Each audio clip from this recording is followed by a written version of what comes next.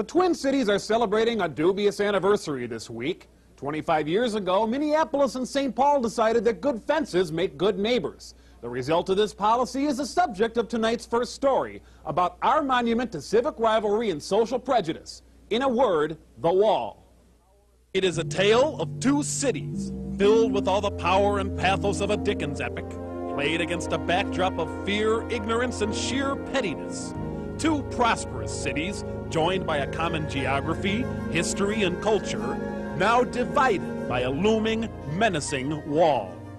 It's funny how we take this wall for granted, this pine curtain, this wooden.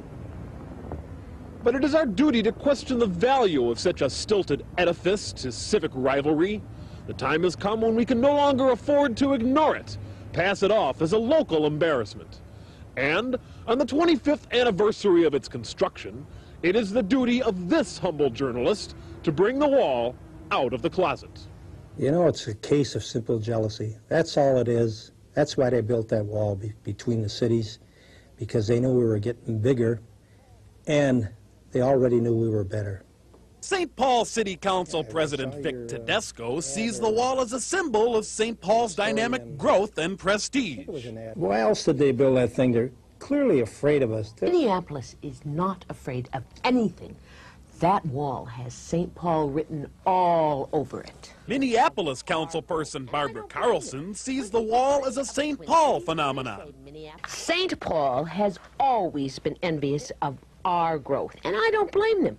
When people think of the Twin Cities, they say Minneapolis first, St. Paul second. That's the kind of bull you'd expect from a megalomaniac like Barbara.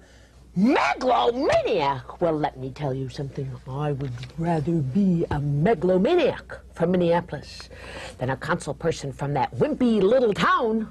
From the smoldering embers of this bonfire of jealousy arose a wall of frozen hate. From Rosedale in the north to Fort Snelling in the south, a pine curtain has descended upon us. It is a triumph of modern technology. Over 22 miles long, it rises and falls with the contours of the land. It cuts right through neighborhoods like the scalpel of a drunken surgeon, bisecting neighbors, isolating friends. Over 65 billion board feet of pine, enough timber to build an attractive three-door stereo component shelf unit with convenient cassette storage rack for every man, woman, and child in North America. But is it only a wall? To find the answer to that question, you have to talk to people who live in and on both sides of the wall every day. Spend a moment listening to them. Sip some coffee and savor their stories about the wall and wall life. Perhaps enjoy a simple crumpet while you listen, or maybe an apple-filled Danish with that delicious white frosting and a smattering of slivered almonds. Oh, here, here we go. Yeah.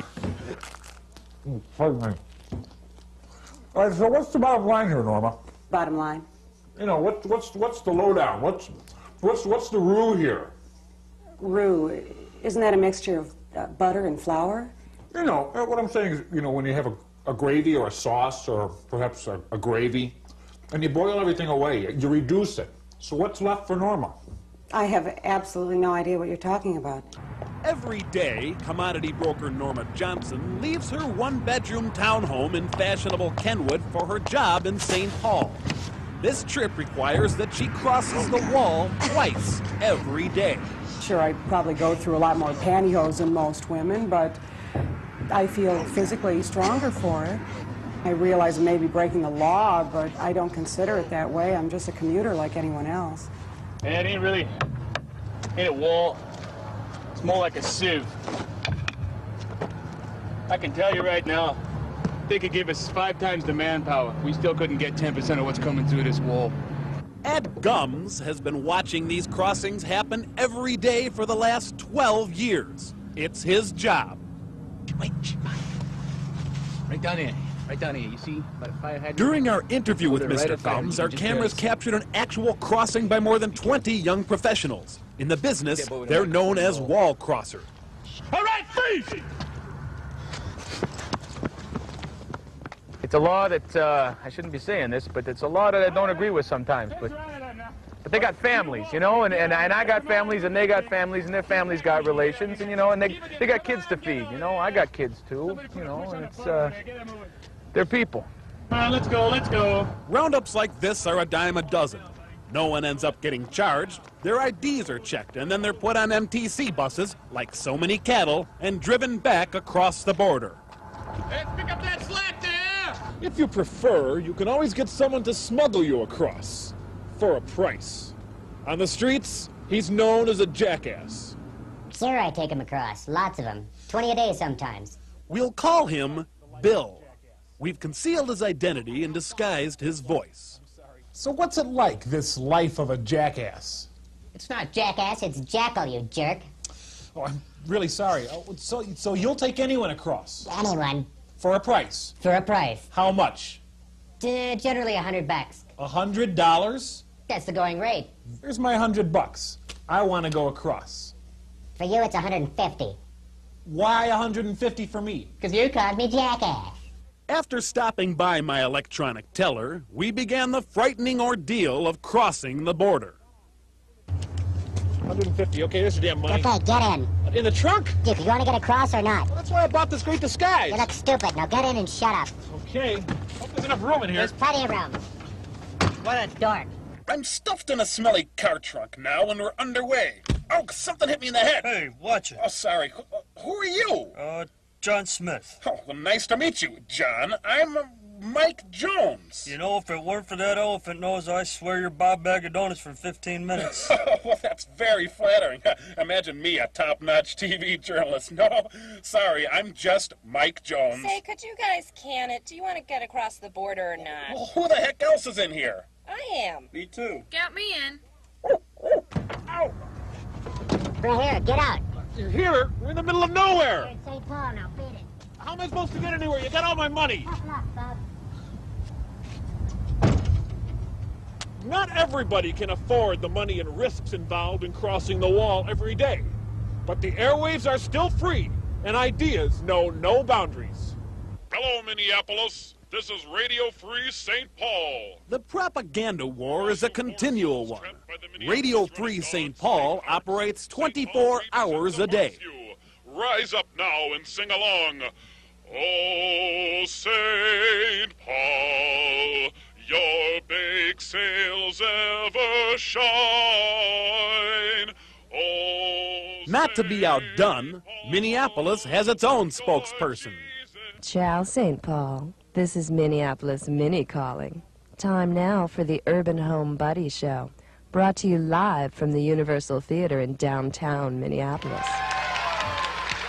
This portion of the Urban Home Buddy is brought to you by Jack's Butterfish Sushi. Gracious, they're great. And by Dwayne's Pretty Good Auto Supply, where you can get Cadillac parts at Pontiac prices. And that's the news from Lake of the Isles, where the folks are rich and their children are spoiled rotten. Is this wall a permanent feature of our landscape?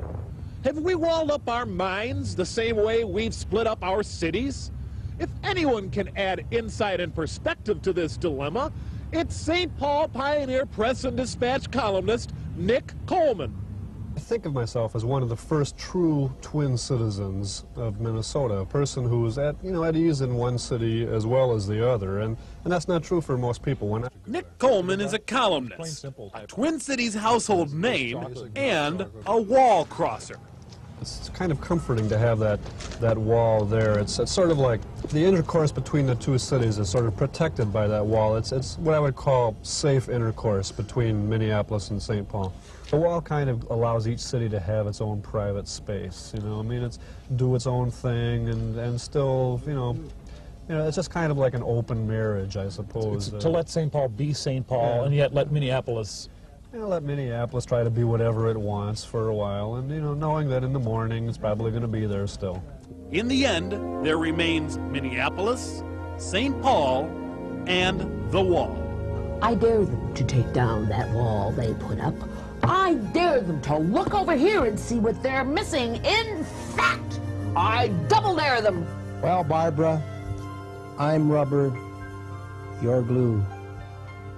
Whatever you say bounces off of me. but sticks to you, honey.